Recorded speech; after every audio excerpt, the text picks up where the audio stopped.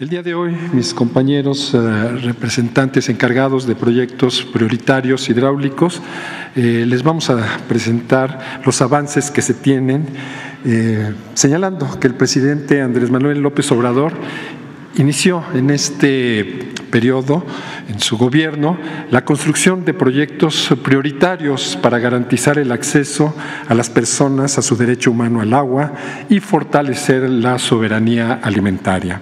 Son obras de abastecimiento a centros urbanos a través de acueductos, incremento de la superficie de riego en al menos 100.000 hectáreas, aumento de la productividad en el campo en Sinaloa, Sonora, Nayarit y obras de protección a la población ante fenómenos hidrometeorológicos. La siguiente, por favor.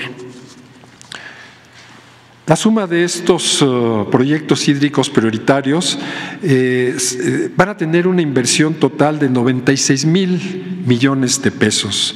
Beneficiarán a 22.2 millones de habitantes, entre los cuales 9.6 millones son eh, beneficiarios de agua potable y 55.566 usuarios agrícolas.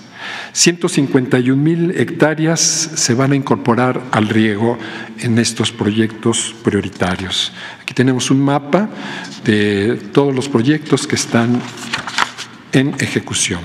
Empezaremos con el Plan de Justicia para el Pueblo Yaqui.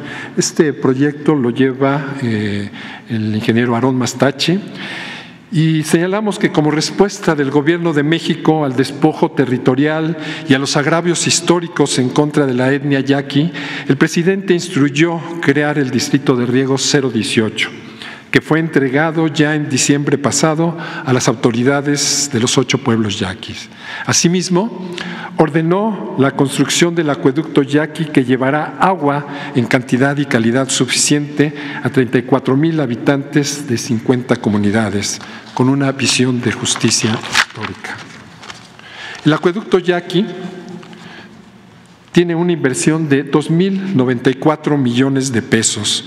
Beneficiará a 34 mil eh, habitantes de, las, ocho comunidades, de los ocho pueblos yaqui, Loma de Guamuchil, Loma de Bacum, Torim, Bicam, Potam, Raúm, Huiribis y Belém.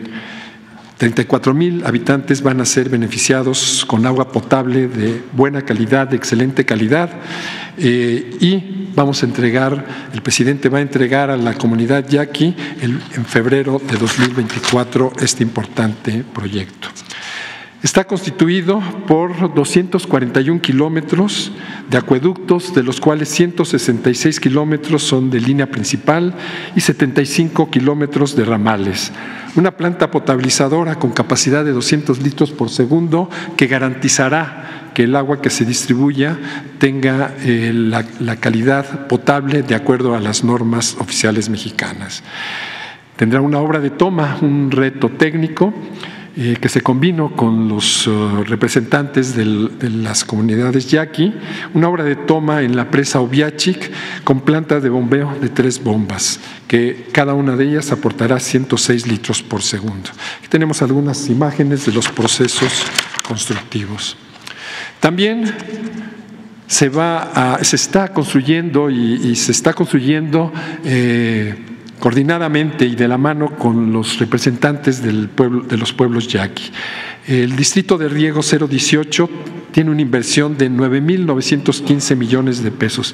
Llevamos un avance del 55% y se van a beneficiar 42.200 eh, eh, productores y se van a incorporar 61.223 hectáreas, son hectáreas potenciales de ser regadas. Los componentes del distrito de riego es una ampliación de 34 mil áreas nuevas, 34 mil 666 hectáreas con infraestructura nueva, como no había ocurrido desde el gobierno del general Cárdenas. Se recuperan y rehabilitan 23.223 hectáreas en el distrito de riego 018. Se rehabilitan 23.8 kilómetros del canal principal existente y se construye 52.83 kilómetros de canal principal, obra nueva. Aquí vemos unas imágenes de los procesos objetivos. Los compromisos que realizó el presidente con la comunidad yaqui, con los ocho pueblos yaqui, en su última visita, el 13 de noviembre de 2023, fue el primer compromiso, la transferencia del distrito de riego yaqui. Esto se realizó el 2 de diciembre de 2023.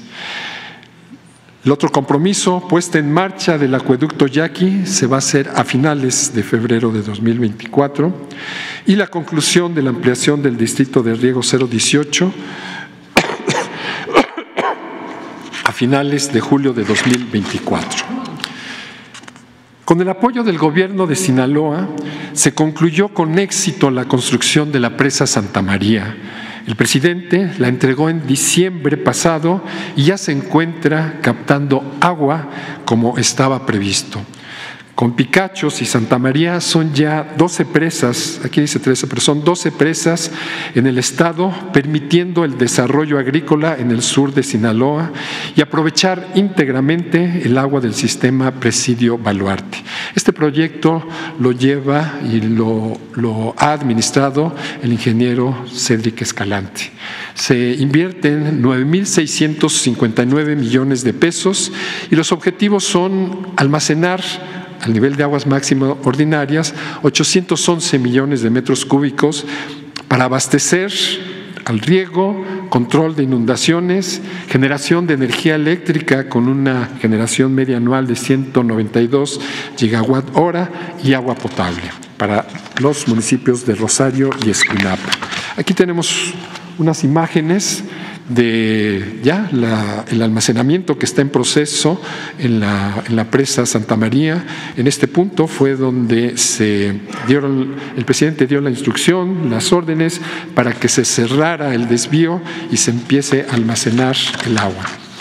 Las componentes de esta presa son la obra de desvío con ataguía aguas arriba, ataguía aguas abajo, eh, túneles 1 y 2 para desviar el agua del río, una obra de toma tres túneles equipados ya electrónicamente, obras de contención, cortina, pared moldeada, punto plinto flotante, la cimentación de la pantalla de concreto y las obras de excedencia vertedor 1 y vertedor 2. Son obras de gran magnitud que ya están en funcionamiento y los vertedores pues son la seguridad de la presa para recibir eh, avenidas, descargas de agua extraordinarias. Eh, aquí vemos algunas imágenes de los, la siguiente, por favor, algunas imágenes de la presa Santa María. Este, a continuación, también a cargo del eh, ingeniero Cedric Escalante, se está invirtiendo 10.023 millones de pesos en el distrito de riego de la presa Santa María. Se van a beneficiar 2.551 productores agrícolas y se van a a incorporar áreas nuevas al riego, 24.250 hectáreas potenciales de riego. Las componentes de esta zona de riego son 475 kilómetros de red de distribución, rehabilitación de 9.86 kilómetros de canal principal, construcción de 71.44 kilómetros del canal principal. Las obras se terminarán en julio de 2024. Otro de los proyectos agrícolas importantes, eh, aprovechando la construcción de la presa Picachos, está la zona de riego eh, Picachos, con vocación agrícola en el sur del estado de Sinaloa. Eh, es una inversión de 4.950 millones de pesos. Tenemos un avance importante eh, en la construcción, 92.66%. Eh, se van a beneficiar 3.172 productores y 22.500 hectáreas nuevas que se incorporan al riego. La longitud del canal, 61.8 kilómetros. Aquí un gran esfuerzo y gran dedicación de mi compañero Isauro Martínez, que está encargado de este proyecto y va el presidente va a poner en operación este distrito de riego en julio de 2024.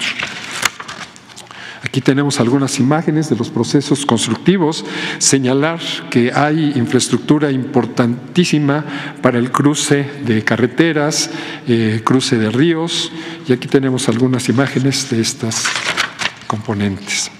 También en el sur de Sinaloa, una, demanda social eh, histórica es la, demanda de agua potable de eh, la población de Concordia. Eh, tenemos como objetivo el suministrar calidad y cantidad de agua potable en bloque a 12 comunidades y a la cabecera municipal en Concordia, Sinaloa. Se van a beneficiar 19.045 habitantes, una inversión de 406 millones de pesos. Tenemos también un avance importante, eh, ya está totalmente construida, el 99.9%, y el presidente va a entregar esta obra en coordinación con el gobierno del estado de Sinaloa en febrero de 2024. Estas son algunas de las componentes del acueducto Concordia, 33 eh, kilómetros de línea principal, 48 kilómetros de ramales, la planta potabilizadora, 90 litros por segundo y un tanque de entrega de 800 metros cúbicos. Aquí tenemos algunas, eh, una imagen de la planta potabilizadora. Nuestros compañeros de Sedena hoy no pudieron venir, pero están eh, realizando un trabajo importantísimo en la construcción del distrito de riego Alejandro Gascón Mercado. El general Iván Hernández eh, está representando a Sedena para la construcción de este distrito de riego con una inversión de 16.214 millones de pesos, esto en el estado de Nayarit, y con una superficie incorporar, superficie nueva de riego, 43.000 hectáreas. Son 7.643 productores beneficiados que están eh, ubicados en los municipios de Ruiz, Tuxpan, Santiago, Escuincla y Rosa Morada en el estado de Nayarit.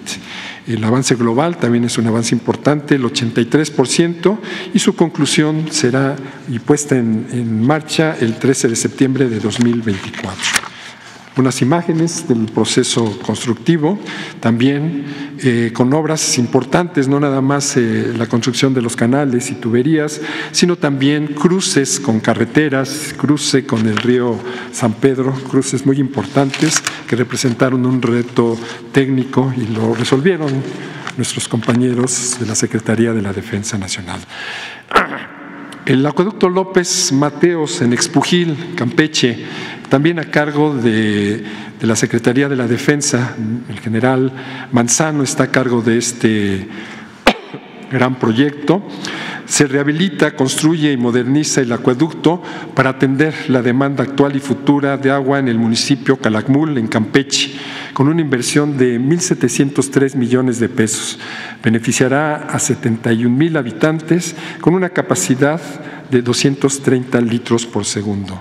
Los componentes de este proyecto son 96.7 kilómetros de longitud, 5 kilómetros de interconexión de pozos nuevos, 7 eh, tanques, 4 de rebombeo, 2 de distribución y un cambio de, régimen. Dos pozos nuevos, como decíamos, y telemetría para la operación y control del sistema. Ya terminó nuestro compañero eh, Manzano, general Manzano, y el presidente lo va a entregar a la comunidad el 26 de enero de 2024. El Parque Ecológico Lago de Texcoco es un desarrollo integral en la zona en donde se pretendía construir, construir el fallido aeropuerto en la Ciudad de México. Comprende la creación de 14 mil hectáreas de área natural protegida, regulación de cuerpos de agua y la construcción de infraestructura deportiva y de convivencia familiar se invierten 5.240 millones de pesos y se beneficiará a 12.5 millones de habitantes. Tenemos un avance importante de 81.1%. Este proyecto está encargado al arquitecto Iñaki Echeverría y se estima que el 30 de abril se abrirá el parque a, a la comunidad, a la sociedad en general, no nada más los habitantes del municipio de Texcoco, sino la zona conurbada de de la Ciudad de México, incluyendo los, eh, la Ciudad de México y el Estado de México. Es un centro de atracción importantísima. Aquí vemos eh, algunas eh, imágenes de la infraestructura que se está construyendo, que incluye canchas de fútbol, canchas de béisbol, canchas de básquetbol, centros de recreación familiar. Aquí tenemos algunas imágenes de del desarrollo constructivo de este proyecto. la presa Zapotillo estuvo abandonada, su construcción, eh, por más de 10 años el presidente López Obrador se acercó a las comunidades de Acacico, Temacapulín y Palmarejo y se pudo convenir, dialogar con ellos y convenir un plan de justicia para estas tres comunidades continuar con la construcción de la presa, pero esta construcción de la presa tendría que tener adaptaciones para evitar que el agua que se almacene inunde estas tres comunidades. Entonces, estamos eh, construyendo eh, esta presa para garantizar el abastecimiento de agua para la zona metropolitana de Guadalajara con un caudal de 3.000 litros por segundo. Además de que vamos a evitar que las tres eh, poblaciones se inunden, vamos a, a aprovechar este escurrimiento del río Verde y otra presa, la presa El Salto, para eh, abastecer 3.000 litros por segundo a la zona metropolitana de Guadalajara y beneficiar a 1.1 millones de habitantes. Es una inversión de 8.295 millones de pesos con 78 millones de pesos adicionales para la eh, inversión en el plan de justicia. La fecha para la terminación y puesta en marcha de este proyecto es en mayo de 2024. Está encargada de este proyecto la licenciada Claudia Gómez. Las componentes de este proyecto es, como decía, la adecuación de la presa para evitar que se inunden las tres eh, poblaciones con ventanas, eh, acueducto El Zapotillo, es un acueducto que va desde la presa El Zapotillo hasta la presa El Salto, con la construcción de una planta de bombeo por 2.000 litros por segundo, el otro componente es el acueducto El Salto, la red Calderón. Ya ah, con este, acueducto está totalmente construido y está por terminarse la instalación de dos equipos de bombeo.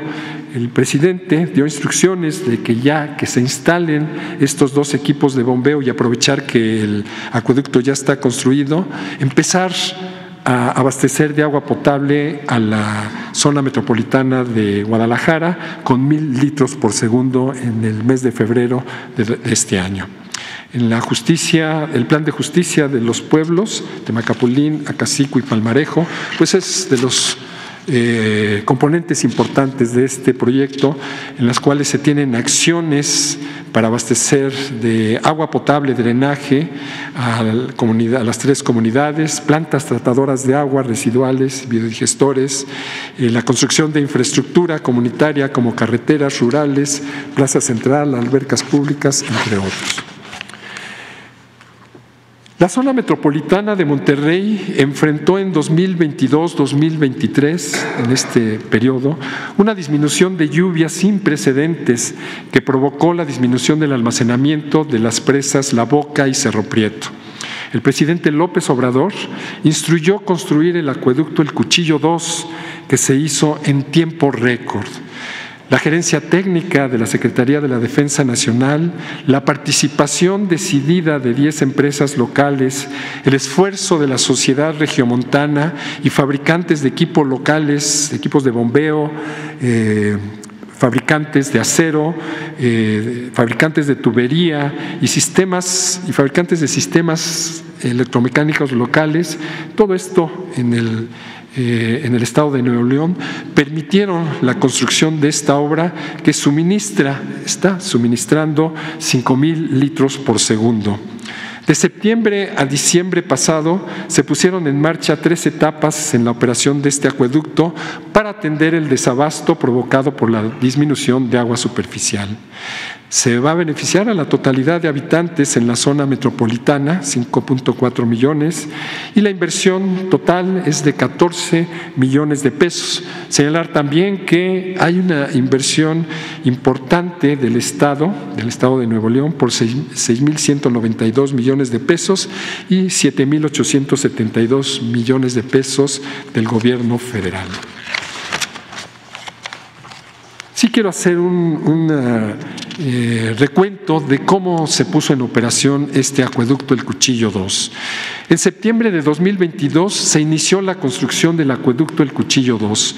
Para el 13 de septiembre de 2023 el acueducto estaba totalmente construido y en proceso de instalación los equipos de bombeo. El presidente, por la emergencia y la falta de agua en la zona metropolitana de Monterrey, instruyó que se utilizaran los equipos de bombeo que ya se estaban instalando y que el 13 de septiembre se pusiese en marcha el primer equipo de bombeo con el que se suministró 1.200 litros por segundo a la zona metropolitana como inicio del abastecimiento. El 26 de octubre de 2023 también se puso en marcha, se inició la operación de un segundo sistema de bombeo para el suministro, se incrementó el suministro a 2.200 litros por segundo a la planta potabilizadora de San Roque. El presidente, el 16 de diciembre de 2023, eh, fue al acueducto, el Cuchillo 2, y se llevó a cabo el inicio de la puesta en marcha de la totalidad de los equipos de bombeo. Eh, y para el inicio de esta puesta en marcha se llevó a cabo la libranza, o sea, se suspendió el suministro de agua que ya se tenía eh, el 13 de septiembre y el 26 de octubre para la interconexión de los equipos de bombeo y tuberías que se conectaran a los equipos de bombeo que se, estaban, se terminaron de instalar el 16 de diciembre, se llevó a cabo la libranza y se puso en marcha la totalidad del sistema de bombeo del acueducto El Cuchillo 2, inició en la planta de bombeo cero. El primero de enero de 2024 Entraron en operación las plantas de bombeo 1 y la planta de bombeo 2. El 2 de enero 2024 inició la operación de las plantas de bombeo 3 y plantas de bombeo 4, llegando el agua a la potabilizadora San Roque este mismo día. Aquí estamos mostrando eh, una fotografía del sistema de control y medición del volumen de agua, del caudal de agua que ya se está suministrando eh, al acueducto, al eh, Cuchillo 2, a la zona metropolitana de Monterrey. El 11 de enero es esta foto, se tomó esta foto, entró en operación el cuarto equipo y ya se está abasteciendo 4.718 litros por segundo del acueducto El Cuchillo 2. Esto sumado a la operación que ya se tenía del cuchillo 1, pues suman, cercan, suman 10 mil litros por segundo, ya que el cuchillo 1 está operando un poco más de 5 mil litros por segundo. No hemos querido echar a andar la quinta bomba porque ya con este eh, caudal eh, satisface las necesidades de agua potable en la zona metropolitana. Otro de los proyectos para abastecer de agua a la zona metropolitana de Monterrey es la presa Libertad. Va, eh, una vez que se concluya y se almacene el agua, eh, suministrará 1.600 litros por segundo de agua potable a los habitantes del área conurbada de la zona metropolitana de Monterrey. Es una inversión también compartida con el gobierno del estado de Nuevo León, 50% y 50% de 7.974 millones de pesos. Se lleva un avance del 75% y beneficiará a 500 mil habitantes. Eh, la presa Libertad está eh, cercano a la zona metropolitana y, va, y tiene como principales eh, componentes la construcción de la presa que tiene una longitud de 1.947 metros una presa de estas características, que es una presa de concreto compactado, de concreto rolado, pues es única en el país.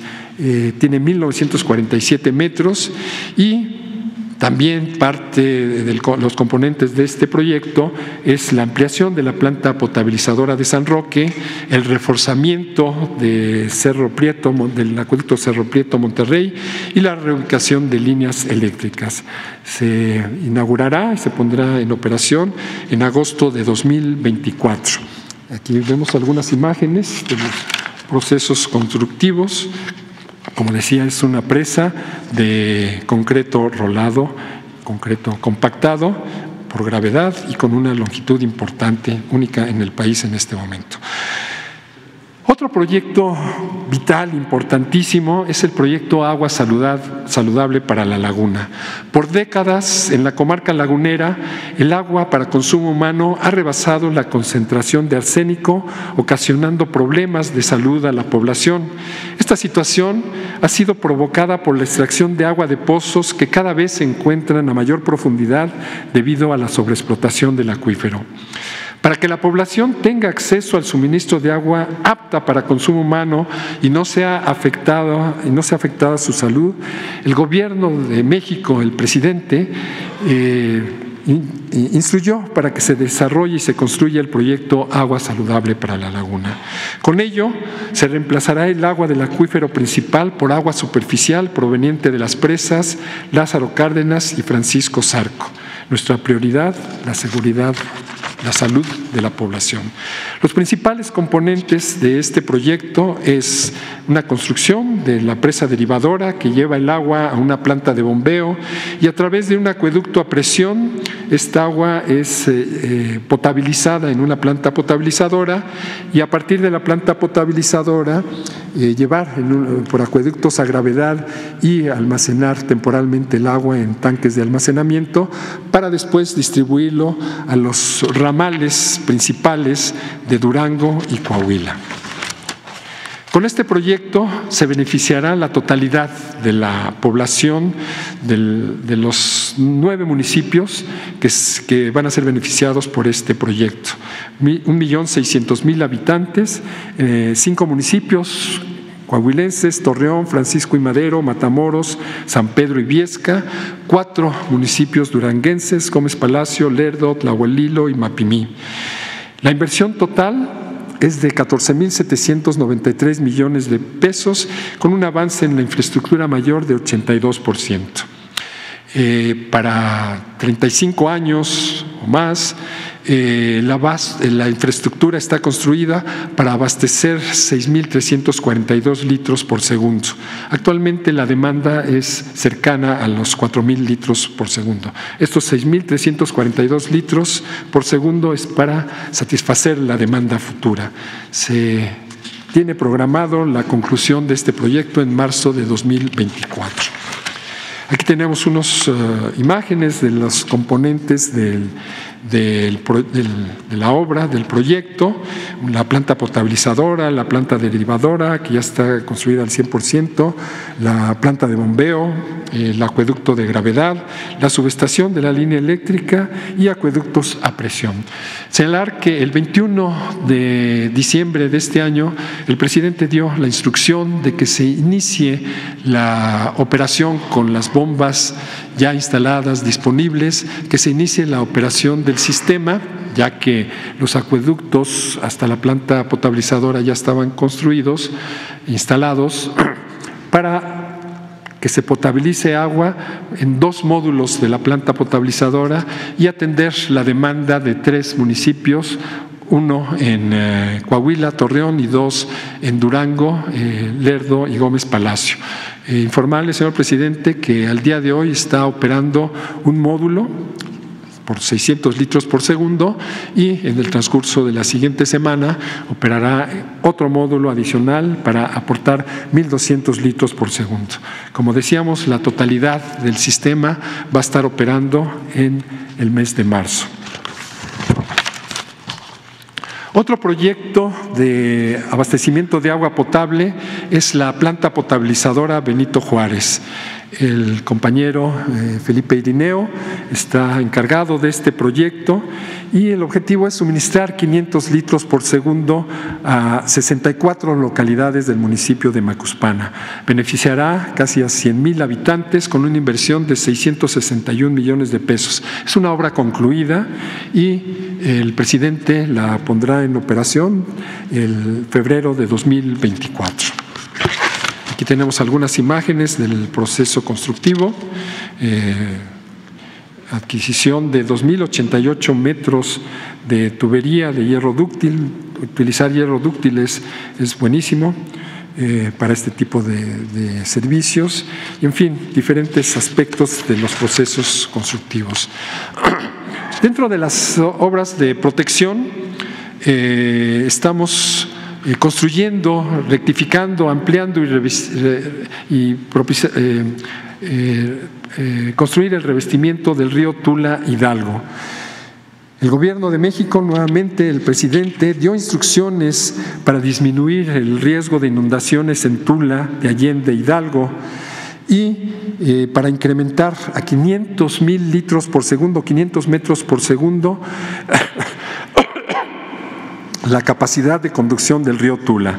El objetivo es disminuir la vulnerabilidad de la población ante fenómenos hidrometeorológicos extraordinarios y evitar nuevas inundaciones que afecten a la ciudad de Tula.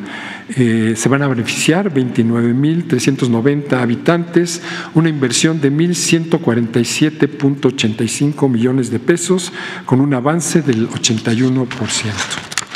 Los componentes de este proyecto es el desasolve del cauce del río, excavación para desplante de estructuras, plantillas de concreto en el cauce, suministro y colocación de concretos en muros y losas de piso y modificación de puentes vehiculares. Recordar que uno de los, eh, de los efectos eh, para que se inunde Tula era el, que los puentes estaban muy estrechos y provocó inundaciones eh, hace dos años. Entonces se modificaron las secciones para que pase más agua en los puentes vehiculares. Hay trabajos de construcción, eh, imágenes que, presentan este, este, estos trabajos que están haciendo. Otro proyecto, también obras de protección, es el que se está realizando en Paso Largo, Veracruz. En cumplimiento a los compromisos asumidos por el gobierno federal que permitieron la conclusión del tramo faltante de la autopista Cardel-Poza Rica, detenida más de dos años por las afectaciones a las comunidades de los municipios de Martínez de la Torre y Misantla, Veracruz, se lleva a cabo el proyecto de obras de protección contra inundaciones en beneficio de las comunidades de Paso Largo en Martínez de la Torre, así como la reforma, constancia, la defensa, troncones en el municipio de Misantla, Veracruz. Este proyecto tiene una inversión de 778 millones de pesos, con un avance físico de 74% eh, y beneficiará a 5.346 habitantes y protegerán 2.550 hectáreas de superficie agrícola. Las componentes del proyecto son desasolve de los ríos, Bobos y Chapachapa, la rehabilitación de espigones y bordos en la margen derecha del río Bobos, construcción de bordos también en la margen izquierda. Eh, aquí vemos una imagen interesante, la apertura de la barra de, del río Nautla en la desembocadura al mar. Este trabajo lo desarrolló eh, rápidamente la Secretaría de Marina. Agradecemos a los compañeros de la Secretaría de Marina haber realizado en tiempo y forma estos trabajos. tenemos otras imágenes de las obras que ya están concluidas y se pretende eh, concluir la construcción de esta obra de protección en julio de 2024. Este, de las obras del cuchillo y todas las que mencioné adelante, este, es un grupo de trabajo en Comisión Nacional del Agua que, está trabajando coordinadamente con las entidades eh, estatales, municipales y eh, el compañero eh, Felipe, este, eh, Felipe pues nos está ayudando mucho en todos estos proyectos, por eso no mencioné encargados, es un grupo en el que todos estamos participando. Eh, sería todo, señor presidente.